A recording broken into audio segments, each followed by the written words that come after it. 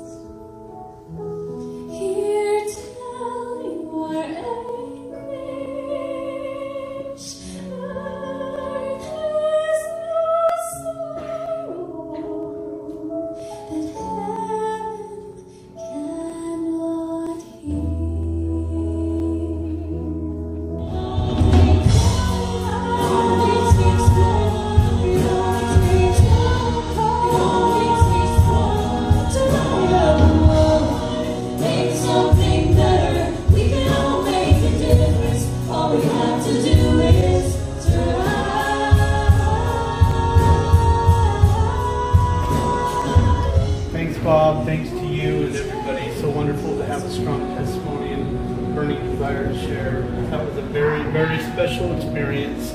Thank you guys for sharing your testimony, your fire, your spirit, your gifts, your talents, and love. We are touched. It only takes